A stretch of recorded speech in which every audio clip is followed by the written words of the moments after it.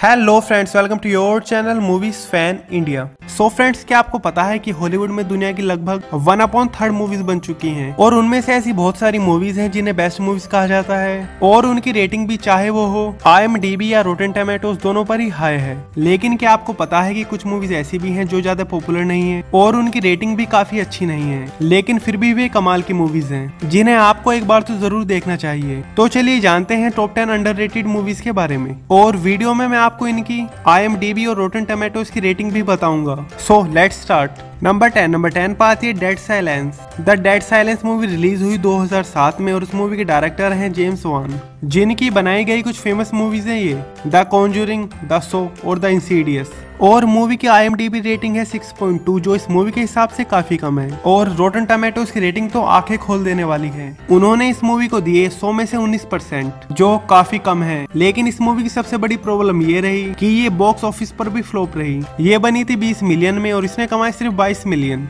number nine number nine पर आती है solo a star war story solo a star war story की IMDb rating है दस में से सात और रोटन टमेटोज की रेटिंग है, उनकी भी सेम है, सत्तर परसेंट।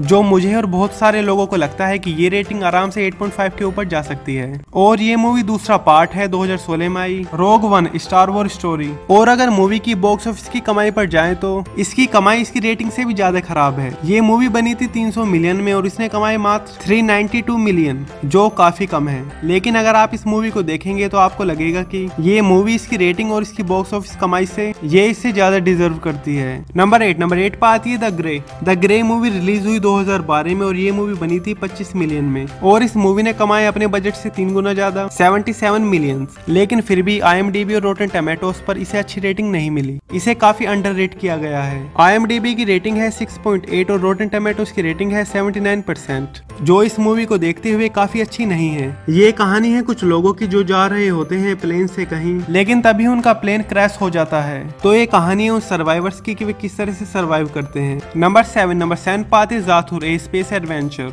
ये कहानी है दो बच्चों की, जिसमें है डैनी और वोल्टर, जो खेलते हैं जाथुर नाम का। गेम जिसकी वजह से उनका घर पहुँच जाता है। स्पेस में तो है ना मूवी का कमाल का कॉन्सेप्ट लेकिन ये कॉन्सेप्ट आई और रोटन टोमेटोज को अच्छा नहीं लगा। आईएमडीबी की रेटिंग है सिक्स जो की काफ़ी कम है, और रोटन टोमेटोज की रेटिंग है 75 परसेंट जिसे आप ठीक ठाक कह सकते हैं। लेकिन मूवी की बॉक्स ऑफ़िस पर कमाई बहुत ज़्यादा खराब रही। मूवी बनी 65 मिलियन में, और इसने कमाई सिर्फ़ 64 मिलियन लेकिन फिर भी मूवी काफ़ी अच्छी है। नंबर सिक्स नंबर सिक्स पर आती है सेशन नाइन फ़िल्म रिलीज़ हुई दो हज़ार एक में और ये मूवी है साइकोलॉजिकल हॉरर मूवी लेकिन मूवी की आईएमडीबी रेटिंग है 6.5 और रोटन टमेटोज है 63 आउट ऑफ़ 100 जिसे देखकर आप ये समझ सकते हैं कि, कि इस मूवी को काफ़ी अंडररेट किया गया है। लेकिन मूवी की बॉक्स ऑफ़िस कमाई इससे भी ज़्यादा खराब है। मूवी बनी थी 16 लाख डॉलर में और इस मूवी ने कमाए मात्र तीन लाख अस्सी हज़ार डॉलर्स लेकिन मैं आपको कहना चाहता हूँ कि इस लो बजट मूवी को आप मेरे कहने पर एक बार तो इस मूवी को ज़रूर देखिएगा।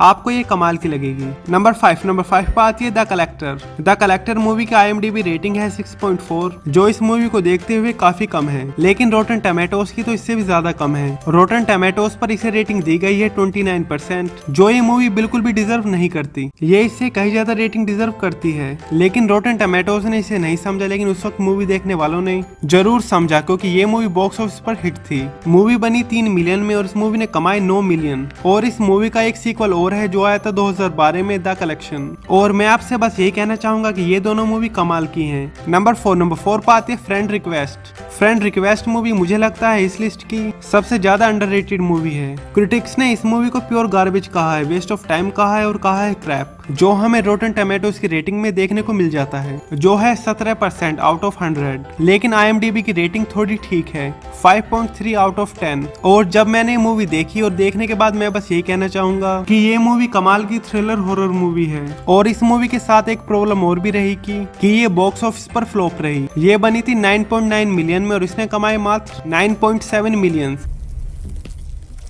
number three number three पर आती है the run down the run down movie आई थी 2003 में और इस मूवी की कास्ट में है डुएन जॉनसन मूवी की आईएमडीबी रेटिंग है 6.7 और रोटन टमेटोज की रेटिंग है 69 परसेंट जो कि साफ़ दिखाती है कि, कि इस मूवी को काफ़ी अंडररेट किया गया है। मूवी ने बॉक्स ऑफ़िस पर कमाया अस्सी मिलियन और ये मूवी बनी थी 85 मिलियंस में। जो कि सुपर डिजास्टर परफॉर्मेंस है। लेकिन अगर आप इस मूवी को देखें तो आप कहेंगे कि ये मूवी काफ़ी अच्छी है, क्योंकि इस मूवी में हमें देखने को मिलते हैं द रॉक जो है बाउंटी हंटर के रोल में। नंबर टू नंबर टू पाते किस किस बैंग बैंग ये मूवी रिलीज़ हुई 2005 में और मूवी की कास्ट में है रॉबर्ट डाउनी जूनियर लेकिन आयरन मैन भी इस मूवी को बॉक्स ऑफ़िस पर हिट नहीं करा सके, बल्कि ये मूवी बॉक्स ऑफ़िस पर डिजास्टर थी। ये बनी 15 मिलियन में और इसने कमाई कमाए 15.8 मिलियन मूवी की आईएमडीबी रेटिंग है 7.6 और रोटन टमाटोज की रेटिंग है 85 परसेंट जिसे आप एवरेज कह सकते हैं। लेकिन असली प्रॉब्लम थे क्रिटिक्स जिन्होंने इस मूवी को स्टूपिड गार्बेज और रॉबर्ट डाउनी जूनियर की एक्टिंग को ओवर एक्टिंग कहा है, जो मुझे तो बिल्कुल भी नहीं लगता। नंबर वन नंबर वन पाती है जॉन कार्टर जॉन कार्टर एक ऐसी मूवी है जिसके बारे में क्रिटिक्स ने ऐसा ऐसा कहा है जिसके बारे में आप सोच भी नहीं सकते। और बस मैं अपनी तरफ़ से क्रिटिक्स को बस यही कहना चाहूँगा। फ़िल्म की आईएमडीबी रेटिंग है 6.6 और रोटन टमाटोज की रेटिंग है 63 परसेंट और इस मूवी ने कमाई 284 मिलियन और ये बनी थी 306 मिलियंस में। अगर आपने जॉन कार्टर मूवी देखी है तो मैं आपको बता दूँ कि इस मूवी के दो पार्ट और आने थे, बल्कि दूसरी मूवी की स्क्रिप्ट तो बनकर तैयार भी थी, लेकिन डिज्नी ने इसके लिए मना कर दिया, क्योंकि डिज्नी को जॉन कार्टर मूवी से पैसे का बहुत सारा नुकसान हुआ। तो इसी वजह से इसके बाकी के दो पार्ट्स नहीं आए। सो फ्रेंड्स ये मैंने आपको बताई टॉप टेन अंडर मूवीज़ और इनमें से मेरी फेवरेट मूवीज़ हैं ये जॉन कार्टर द कलेक्टर और the friend request so friends अगर आपकी वीडियो अच्छी लगी तो इसे लाइक करें शेयर करें और चैनल को सब्सक्राइब करना ना भूलें. Because life is so short be happy thanks for watching and bye